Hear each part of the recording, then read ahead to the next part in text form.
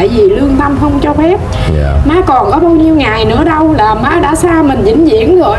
Dạ. mà mình ham ăn ham ngủ để làm gì? Khi mà nhìn lại thì má cứng đơ rồi rất đau lòng trên chứ không ngủ được. Dạ. Rồi rất thương má. Nhưng mà mừng con cái là ngày má qua đời. Được con á đến má chút hơi thở cuối cùng là đó là điều mừng lắm. Còn bây giờ mà định đi á, làm ăn xa mỗi khi ra đốt nhang cái má khóc hoài má ơi vì hoàn cảnh khổ mà con phải xa gia đình con đi làm con buồn lắm nhưng mà má ơi biết phải làm sao giờ chỉ cầu Dạ. con cô xin ơn trên cho con cái sức khỏe con đi bằng kiếm tiền con có tiền đi rồi con về con sẽ gần chồng gần con của con con lo tương lai dạ Dạ, nhàn cục TV xin kính chào thưa quý anh chị. Thì à, bên nhàn có bán à, hai dòng à, hai dòng sản phẩm thưa quý anh chị. Đây là sữa, một bên tay phải nhàn là sữa anh chuốt, bên tay trái này là sữa anh chua.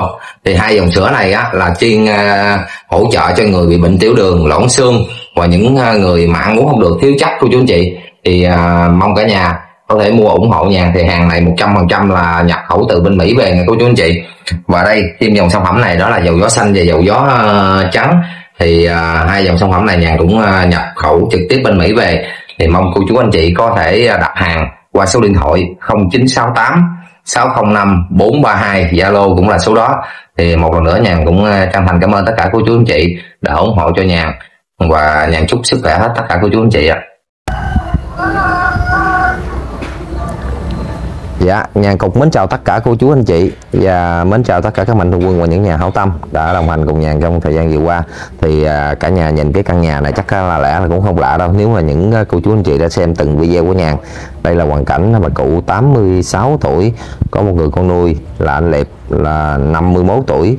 Thì à, một khoảng thời gian vừa qua nó thật với cô chú anh chị luôn nhà cũng đã không phụ lòng tin của chị cái này là của cô Sáu Hà cùng với chị Linh hai người đã đồng hành để giúp cho căn nhà của anh Liệp và bà cụ có nơi để thờ phượng bà cụ và anh Liệp cũng có nơi để lo cho cho vợ và con. Thì hôm nay nhàn đến đây thì cập nhật lại thông tin cho cô chú anh chị thấy được những cái thành quả của những mạnh thường quân đã luôn đồng hành và tin tưởng nhàn để được cái thành quả như này thì cũng thật sự là một cái công đoạn rất là khó khăn. Hôm nay nhàn đến thì thấy cái căn nhà của anh Liệt với à, vợ anh Liệp là thấy khác hẳn ra rồi. Cũng thay đổi thay hình đổi dạng rất là nhiều và cũng hoàn thiện rất là nhiều luôn. Thì nhà vào trong để cập nhật cùng cô chú anh chị nha. Thì đây nhà cũng có mua một à, ít trái cây để cúng cho bà. À, em chào anh chị nha. Để em xin em đốt cho bà cây nhang cái. Dạ. Lâu lắm hình như từ bữa đó tới giờ anh nói nhiêu ngày à ta? Nhiêu tuần rồi? À, thứ hai nữa là 49 ngày là vừa giáp tuần à 49 ngày ha dạ. À, là cúng cho bà là cúng chay hết ha. Dạ xin lỗi. Dạ.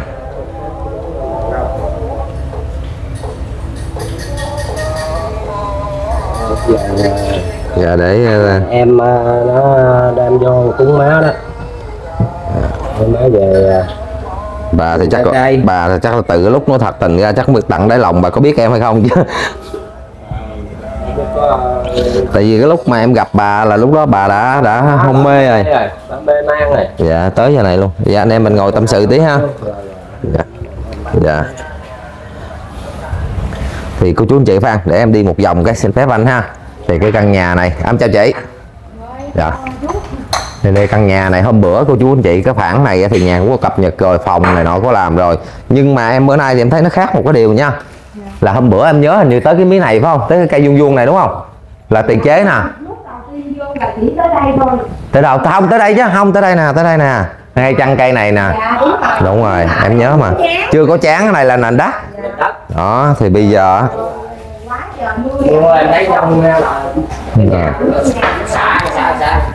làm nhà vệ sinh luôn hả? Ồ, quá tuyệt vời. Ở sau như thấy còn cái nhà lá nữa đúng không? Heo đó à đây cô chú anh chị ở đây ở đây là hình như ba cái bạc này với lại cây là anh tháo ở trong nhà kia ha. Anh sách về á. Rồi đem gắn cái mic cái. Ừ. này là có nghĩa là ở bên cái nhà cũ Nhà cũ. anh tháo anh tận dụng về hết tất cả. Đúng rồi anh tận dụng ra hết anh đâu có bỏ đâu em cái này là hình như cũng cực khổ à ginh đắp đắp lên. ginh đất đắp lên mà nó chưa có khô. À. Bây giờ mình chờ nó khô còn cái khúc đó là nó nó nó cái nền cũ rồi đó nó còn đất khô, khô á. À. Mới xây đó là hai cái chuồng đó để cho hai con heo ba con heo nó ở đó.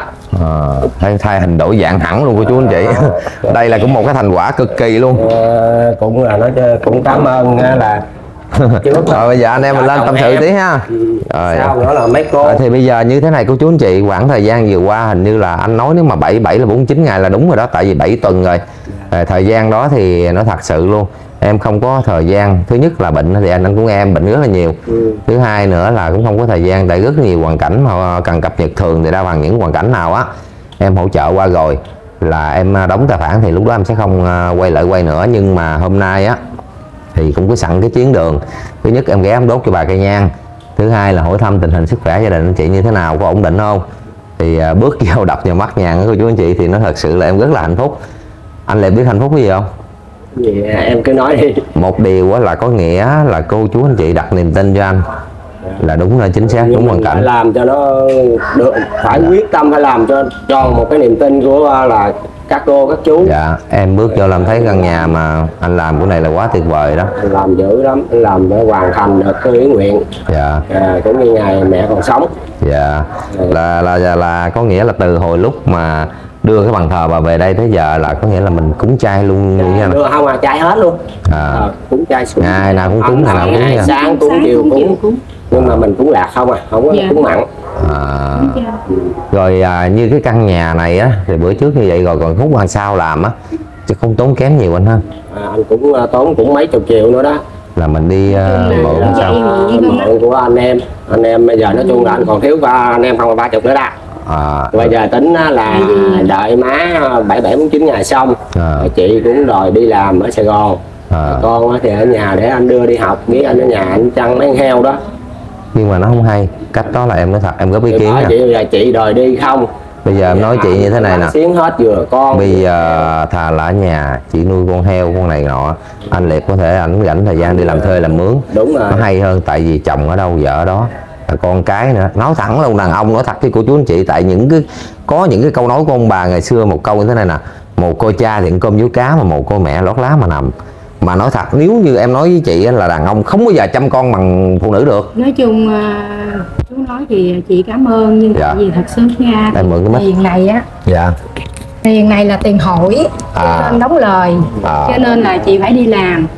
Đi làm lặng mày đóng lời với đồng thời mình cũng kiếm vốn để trả để đóng lời rồi đồng thời tại vì gửi nó ở nhà trẻ à. rồi ảnh thì à, đi kiếm phụ họ có thể đặt lú dưới sông. Dạ. Để mà kiếm như là vừa vợ kiếm tiền mà vừa chồng kiếm tiền nữa là chị đi lên chảnh đi nuôi bệnh mướn cái đó cũng nó thật sự là như à, vậy. nuôi bệnh mướn ha mình nuôi bệnh mướn ví dụ mình nuôi trong cái bệnh viện đó ví dụ như 10 ngày nửa tháng mình À. có à, con mình à, mình lấy ví dụ đi có chuyện gì mình về được. Cho à nên là mình đi làm để kiếm tiền về. Tại vì đóng lời mà tại vì thấy nhà của mà muốn cũng muốn cất lên cho có được cái căn nhà để à, cho nó hoàn chỉnh để mà cuộc sống cho vợ chồng nó đừng có dơ tạt gió nó quá trời ôm ổm nó tạt quá đi. À. Thì cũng có người hỗ trợ là cho dây.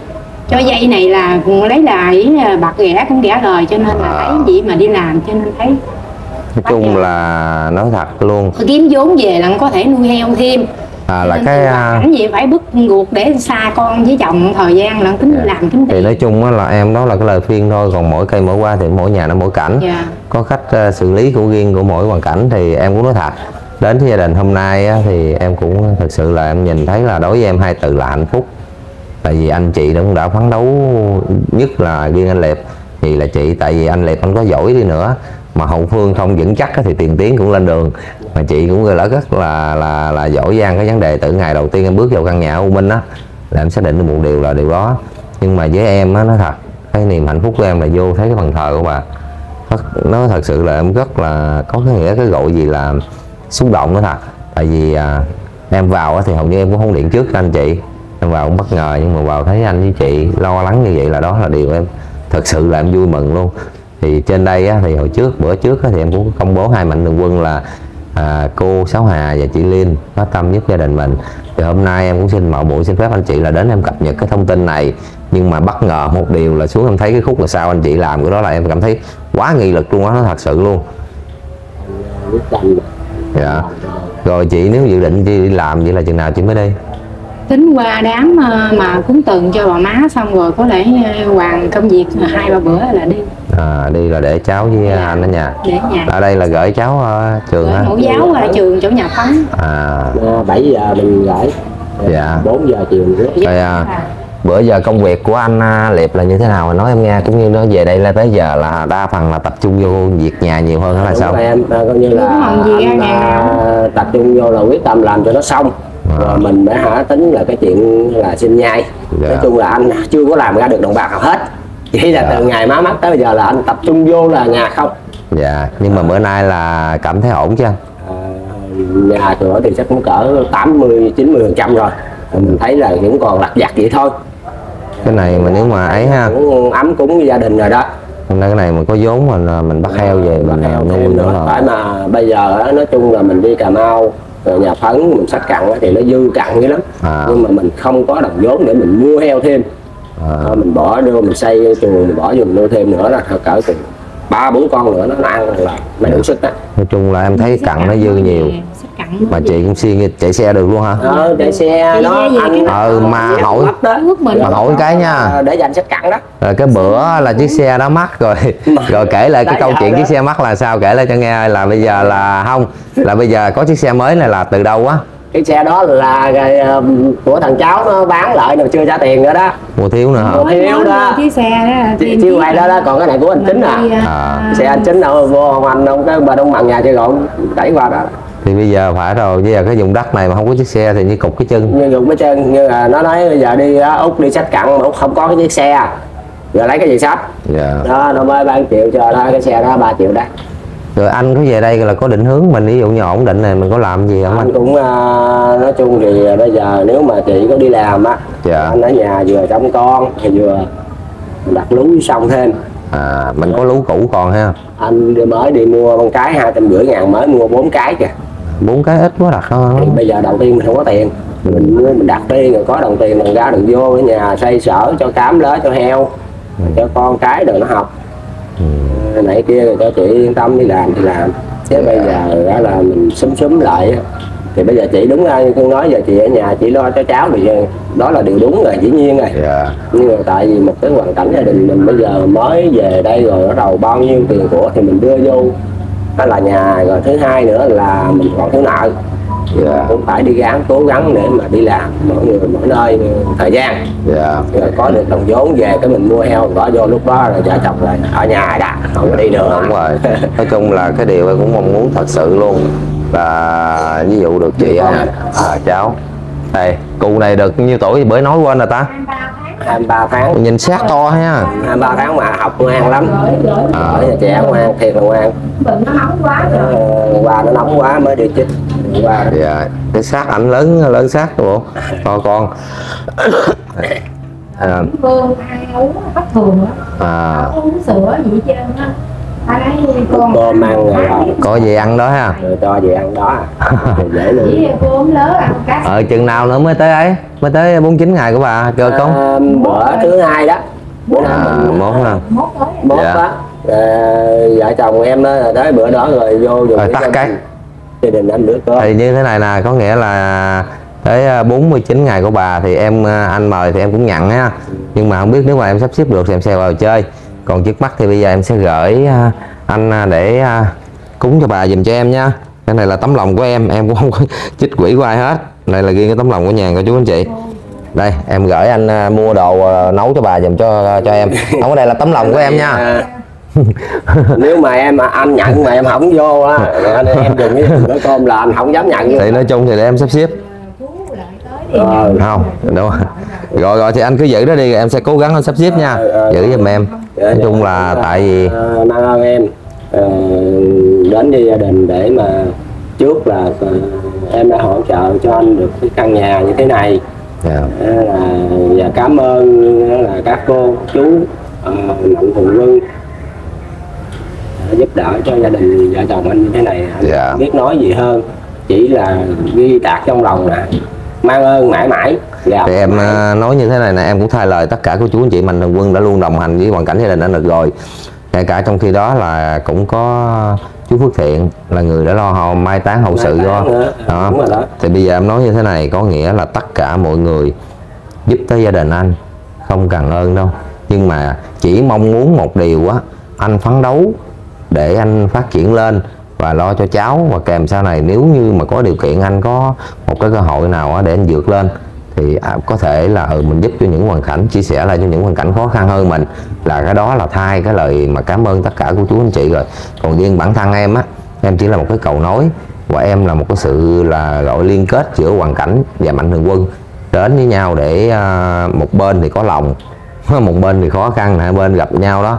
Còn à, với em thì em cũng ờ, xin cầu chúc anh với chị và cháu sẽ luôn dồi dào sức khỏe.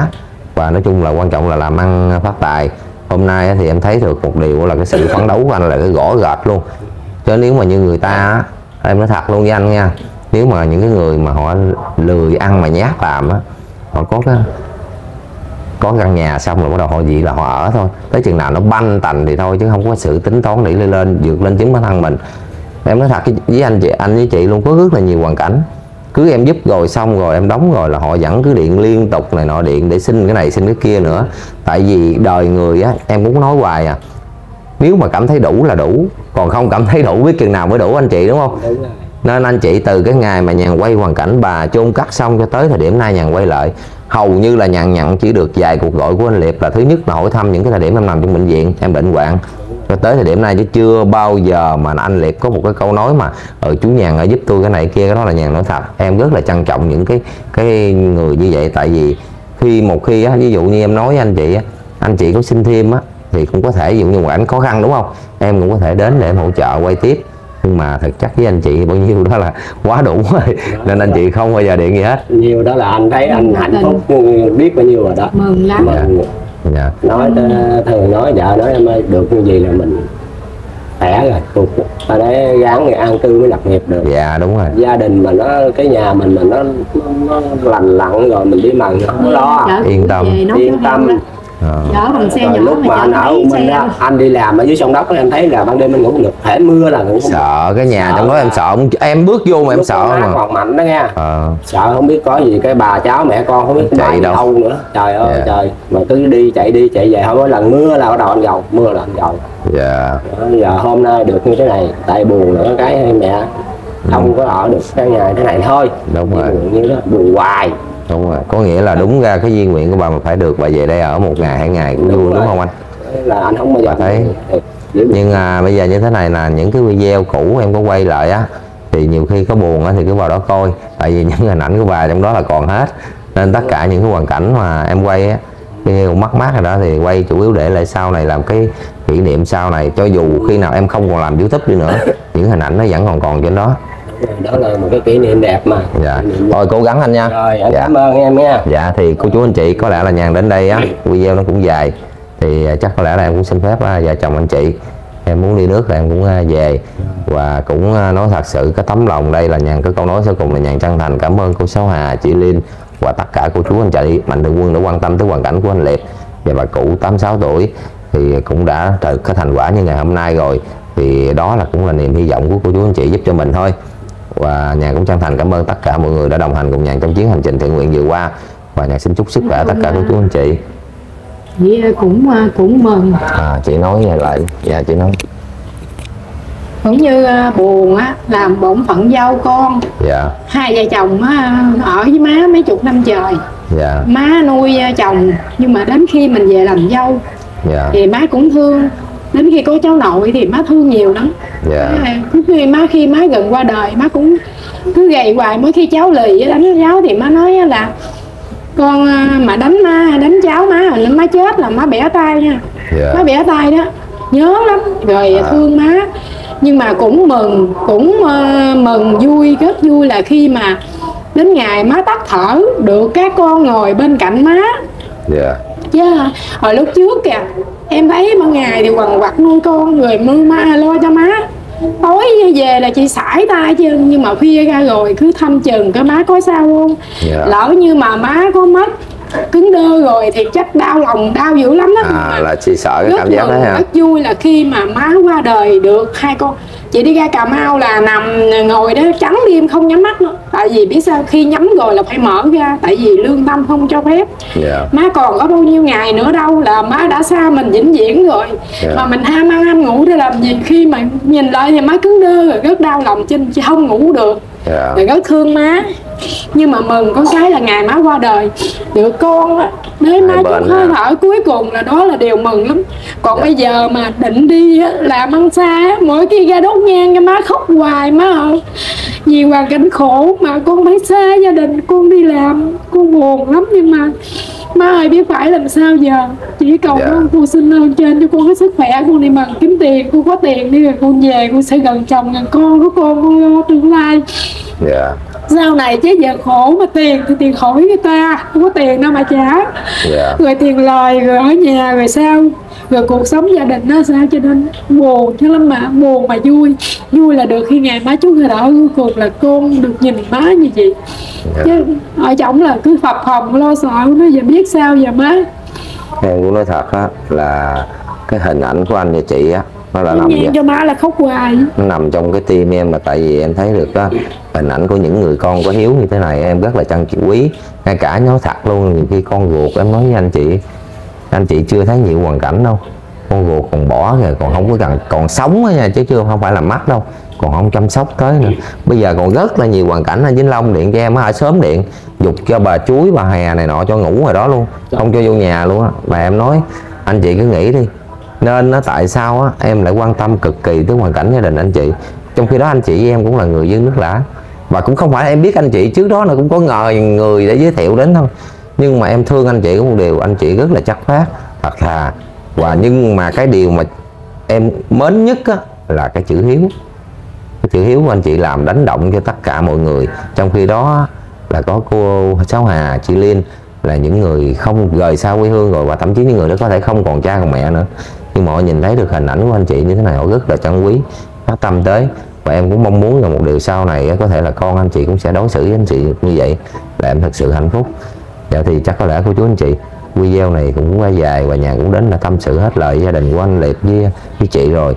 Thì à, đến thời điểm nay á thì à, con đường của anh chị tiếp tục nó cũng còn dài chứ không phải là một ngày một bữa. Thì chỉ cầu mong chúc cho anh chị có sức khỏe để lo cho con và chà, hai vợ chồng có thật sự thương yêu nhau đó là điều hầu như em quý nhất. Mà em biết là anh chị rất là thương yêu nhau không nhìn em biết à, má mà có qua đời á con đừng có à, con đừng có bỏ liệt nha. Dạ. À, mà nói mấy lần những cái bữa đó mắc cười mà buồn mà mắc cười nói gì nè sao má không gầy má không dạy con má đi mà má nói với con không vậy? Nói con sống như liệt trọn đời nuôi rải năng học cho tới lớp 12 con đừng bỏ nó nghe con. Dạ. Cái mấy lần cái bữa đó mới nói vui miệng với nó má à. Sao má không gầy má không dạy con má nữa sau này nó gặp người khác đẹp hơn rồi rồi nó thương rồi nó bỏ con sao? Cái má nói không má biết tánh con má không có gì. Dạ không có tánh đó đúng rồi nói vậy thì anh thật thà mà chị thấy đừng có bỏ con rồi đừng có đánh cháu nội mà nhớ hoài mà thương má là khóc hoài nhớ như lời nói đó mà con không có lo cho má được. Rồi bây giờ con lại phải đi xa nữa thôi con buồn lắm mỗi khi ra đốt nhang cho má là khóc đốt nhang cho má là tuổi lòng. Dạ. Nhớ ngày sắp tới đi con đi rồi thôi má má độ cho con mạnh giỏi con làm hết đỡ nè con kiếm mới vốn con về con làm ăn rồi con ở gần bên chồng bên con con nha má chứ giờ biết phải làm sao giờ nói chung cũng mong bà ở nơi phương xa bà có thể phù hộ cho vợ chồng anh. Thứ nhất là sức khỏe dồi dào. Hai nữa có cơ hội làm ăn. Thì cô chú dạ. má sống lại mừng quá trời luôn. Dạ. Nằm bao ngủ đi. Thì à, bây giờ như thế này cô chú anh chị nhàn cũng nói thật đến là nhìn thấy được những cái giọt nước mắt của chị thì thật sự nhàn cảm thấy rất là xúc động. Thì đến với gia đình hôm nay thì à, nhàn cũng à, chân thành cảm ơn anh chị đã chia sẻ những cái à, tâm tư của mình và những cái gì sự thật và cũng cảm ơn tất cả cô chú anh chị đã luôn đồng hành cùng nhàn trong suốt thời gian thiện nguyện vừa qua. Và mong cô chú anh chị có thương nhàn thì xin nhàn cho xin một lượt like con cũng cảm ơn cảm ơn những cô chú đã giúp đỡ cho vợ chồng của con được có căn nhà như gì. Thôi Dạ. là để che nắng che mưa để nuôi con thôi con cũng thành thật. Cảm ơn thật nhiều. Dạ. Chúc cho sức khỏe của cô chú được ờ, là sức khỏe dồi dào gia đình là mạnh là bình an hết. Trong những ờ, cuộc sống sắp tới rồi ờ, dài dài là sẽ được bình an và may mắn trên công việc mà ăn.